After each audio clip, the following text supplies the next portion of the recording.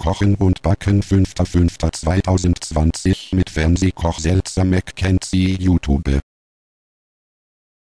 201 300 Gramm Mehl eine Prise Salz 60 Gramm Zucker eine türkische Lira Vanillepulver Klammer auf Döschen Klammer zu eine türkische Lira abgeriebene Bio-Zitronenschale Schrägstrich 2 Würfel Hefe Klammer auf ca. 21 Gramm Klammer zu 125 Milliliter warme Milch 50 Gramm weiche Butter 5 Eigelb Klammer auf M Klammer zu 2 bis 3 säuerliche Äpfel 2 Esslöffel Zitronensaft 500 Gramm Schmand 70 Gramm plus 1 Esslöffel Puderzucker 170 Gramm angedickte Preiselbeeren Klammer auf Glas Klammer zu N das Mehl mit Salz, Zucker jeder Hälfte des Vanillepulvers und der Zitronenschale mischen. Hefe in der Milch auflösen. Mit der Mehlmischung Butter und ein Eigelb zu einem glatten, geschmeidigen Teig verkneten. Den Hefeteig zugedeckt circa 30 Minuten an einem warmen Ort gehen lassen. Zwei Backofen auf 200 Grad vorheizen. Äpfel waschen, nach Belieben schälen halbieren entkernen und in sehr feine Scheiben hobeln oder schneiden. Die Apfelscheiben mit Zitronensaft beträufeln. Schmand 70 Gramm Puderzucker restliches Vanillepulver restliche Zitronenschale und restliche Eigelbe verrühren. J-Hefeteig auf einem mit Backpapier belegten Backblech Klammer auf ca. 40 x 35 cm Klammer zu, ausrollen, dabei einen kleinen Rand hochziehen und andrücken. Schmand Apfelspalten und Preiselbeeren nacheinander darauf verteilen und mit Restpuderzucker bestäuben. Circa 20 Minuten backen, abkühlen lassen und in Stücke schneiden. 300 Gramm Mehl 1100 Gramm Zucker 200 Gramm kalte Butter 1 Beutel Mohnback Klammer auf 250 Gramm Klammer zu 3 Eier Klammer auf M Klammer zu 100 Gramm Mirabellenkonfitüre zum Beispiel Bonnemamman 500 Gramm Schmand 80 Gramm Zucker 30 Gramm Vanillepuddingpulver abgeriebene Schale von 1,5 Bio-Zitrone 150 Gramm Mirabellenkonfitüre zum Bestreichen Mehl mit Zucker mischen Butter in Stücken zugeben. Durchgehacken, bis trockene Krümel entstehen, dann mit der Hand zu glattem Teig verkneten, in Folie wickeln, circa 30 in den Kühlschrank legen, Ofen auf 180 Grad vorheizen, Teig auf ein Stück Backpapier 25 x 25 cm groß ausrollen, Backpapier auf Backblech heben, Backrahmen um den Teig setzen, Teig mehrmals mit einer Gabel einstechen, für den Belag Mohnbackmischung mit 1 Ei und Konfitüre verrühren auf dem Teig verstreichen. Schmand mit Zucker, restlichen Eiern, Puddingpulver und Zitronenschale verrühren. Auf der Mohnmasse verstreichen, 30 bis 35 Minuten backen. Auskühlen lassen, Konfitüre darauf verstreichen. Zutaten für 2010 Stücke für den Teig, 300 Gramm Mehl, eine Prise Salz, 100 Gramm Puderzucker, 1 K Vanillezucker etwas abgeriebene Schale von 1 Bio-Zitrone ein Eigelb 200 Gramm kalte Butter für den Belag 800 Gramm Zwetschgen oder Pflaumen 50 Gramm gemahlene Mandeln Haselnüsse oder Walnüsse 20 Gramm Zimtzucker 100 Gramm Mehl 175 Gramm Zucker 75 Gramm Butter 11 Prise Salz etwas Vanillezucker Teigzutaten mischen Butter i dabei mit einem Messer in Stücke hacken glatt verkneten, in Folie wickeln, 30 Minuten kalt stellen, Zwetschgen putzen waschen halbieren und entsteinen, Ofen auf 180 Grad vorheizen, Mürbeteig 4 mm dick ausrollen, kleines Backblech Klammer auf 30 x 20 cm Klammer zu, damit ausschlagen, überstehen den Rand abschneiden, den Boden mit Hälfte der Mandeln bestreuen, Zwetschgen kreisförmig und dachziegelartig darauf verteilen, mit Zimtzucker und restlichen Mandeln bestreuen. 3 alle Streuselzutaten krümelig verkneten und auf den Zwetschgen verteilen. Im heißen Ofen ca. 60 Minuten backen.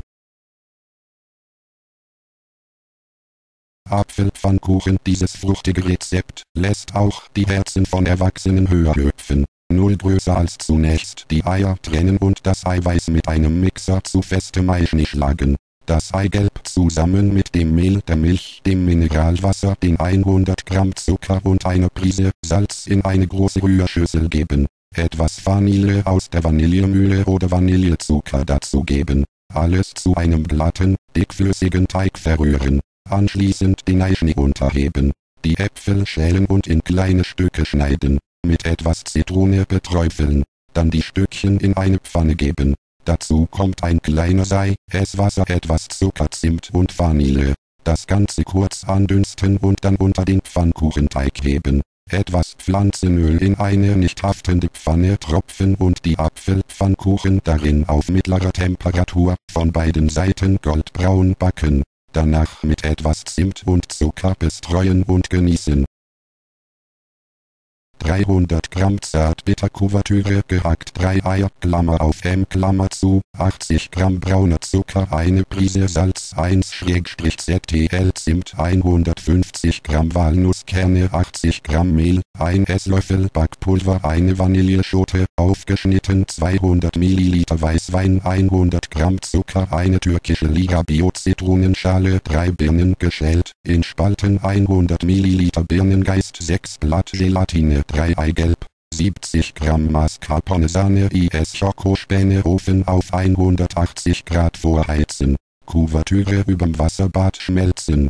Eier, Zucker, Salz, eine türkische Lira, ein Zimt, 5 verrühren. Hälfte Nüsse nicht zu fein mahlen mit Mehl und Backpulver mischen. Hälfte Kuvertüre und Eischaum rühren. Nussmischung unterheben. Teig in gefettete Springform, Klammer auf 20 cm 0 Klammer zu, füllen circa 25 Minuten backen. Vanilleschote Weinzucker, Zitronenschale aufkochen.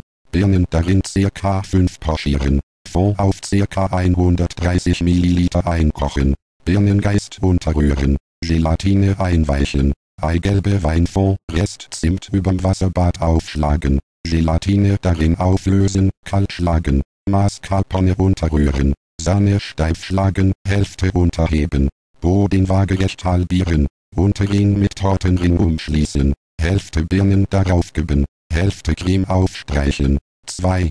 Boden auflegen, mit Restcreme bestreichen, Restbirnen darauf verteilen, circa 3 Stunden kühlen, Tortenrand mit etwas Sahne bestreichen, Restkuvertüre nochmals schmelzen, Restnüsse hacken, Streifen Backpapier Klammer auf circa Höhe und Umfang der Torte Klammer zu, mit Nüssen bestreuen, Kuvertüre streifenartig darauf verteilen. Bevor sie ganz fest ist, Papier an die Torte legen leicht andrücken, kurz kühlen, Papier entfernen, mit Restsahne und Schokospänen verzieren.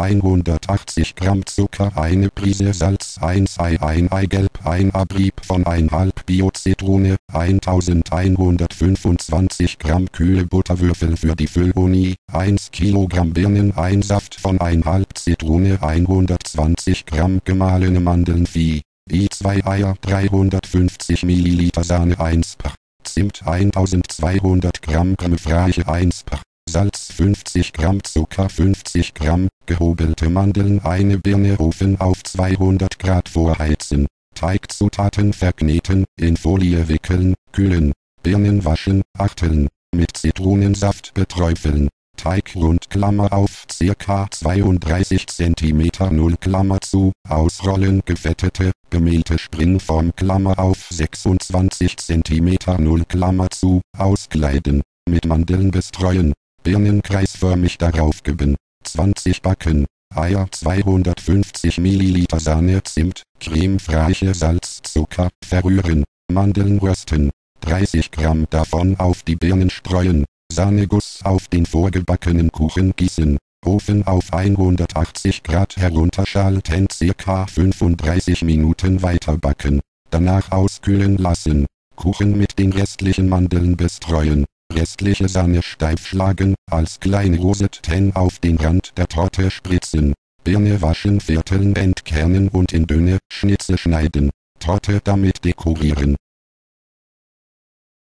1270 g weiche Butter 1320 g Zucker Salz 1420 g Mehl 70 Gramm Kakao i eine türkische Liga Backpulver i 1 Kilogramm Birnen eine Zimtstange 1200 Milliliter Birnen oder Apfelsaft Tee 3 Esslöffel Zitronensaft 600 Gramm Doppelrahm Frischkäse 50 Milliliter Schlagsahne 12 Vanillezucker 1 2 Eigelb Klammer auf M Klammer zu, 2 Eier Klammer auf M Klammer zu, Schrägstrich 200 Gramm Zartbitterkuvertüre 1 250 Gramm Butter 170 Gramm Zucker und gute Prise Salz cremig rühren.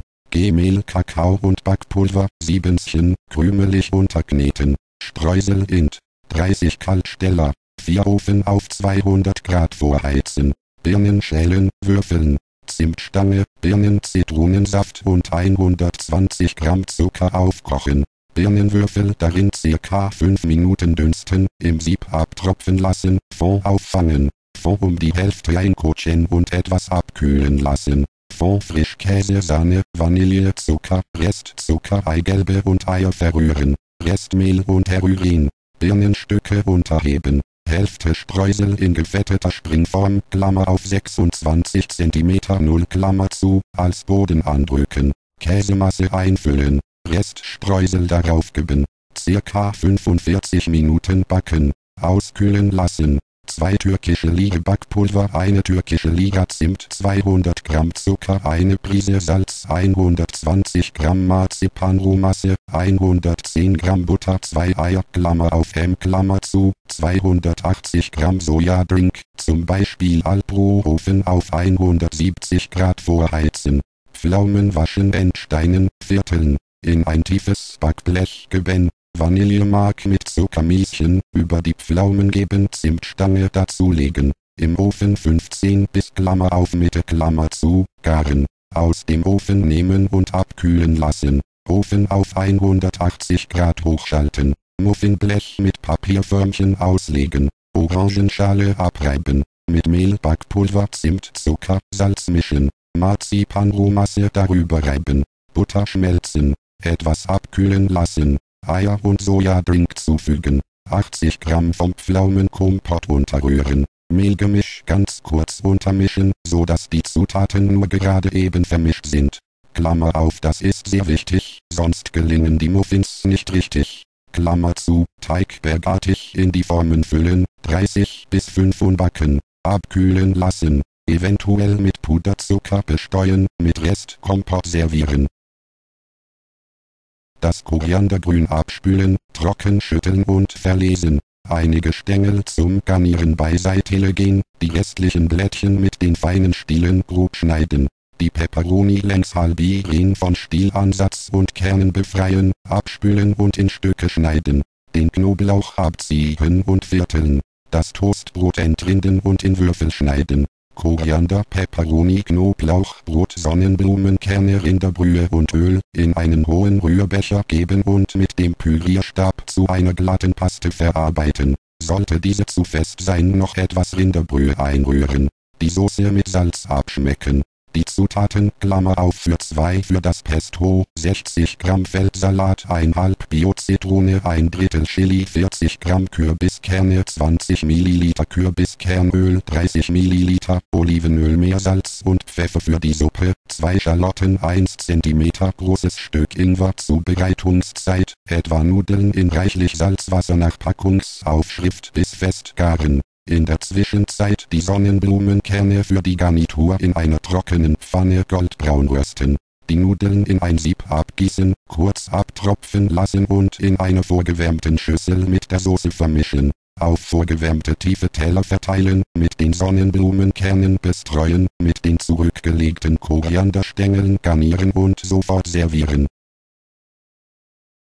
350 Gramm Butter 1350 G Zucker 11 G, Vanillezucker 1 P, Salz 14 Eier Klammer auf M Klammer zu, 1100 Ri, 200 Gramm Masadam IA 41, 1350 G Mehl 1 2 T11, Unterstrich Bar, Unterstrich Klammer zu, 1531 Gramm Speises minus 7 bis 4. Speisestärke mischen, unter den Teig rühren, auf ein mit Backpapier belegtes Backblech streichen, Hellrest Butter, Zucker, Mehl, Nüsse und Marzipan mit Knethaken Z-Streuseln verarbeiten. 8 Birnen entkernen, fächerförmig schneiden, mit 5 Esslöffel Zitronensaft röschen, auf dem Teig verteilen, Streusel darüber geben, circa 40 Minuten backen, Klammer auf eventuell mit Alufolie bedecken, Klammer zu auskühlen lassen. Zwei Sahne steif schlagen, dabei Zucker einrieseln lassen.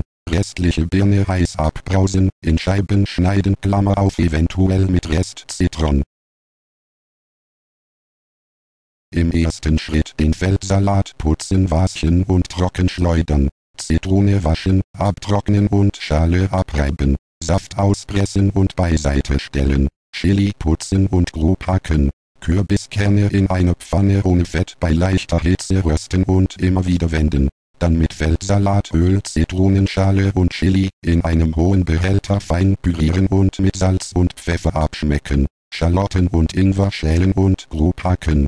Pastinaken und Kartoffeln ebenfalls schälen und grob würfeln. Olivenöl in einem Topf erhitzen und Schalotten und Ingwer mit den Lorbeerblättern etwa 5 Minuten goldbraun anbraten. Restliches Gemüse zugeben, mit Wasser ablöschen, eine große Prise Salz würzen und bei verschlossenem Deckel etwa 20 Minuten leicht köcheln, bis es gar ist. Sahne dazugeben und 5 Minuten mit Köcheln. Dann die Blätter herausnehmen und das Gemüse zu einer cremigen Suppe pürieren mit Salz, Pfeffer, Muskatnuss und Zitronensaft abschmecken, auf tiefe Teller verteilen und mit dem Feldsalat Pesto und Kürbiskernen genießen. II4 das Koriandergrün abspülen, trocken schütteln und verlesen. Einige Stängel zum Garnieren beiseite legen, die restlichen Blättchen mit den feinen Stielen grob schneiden.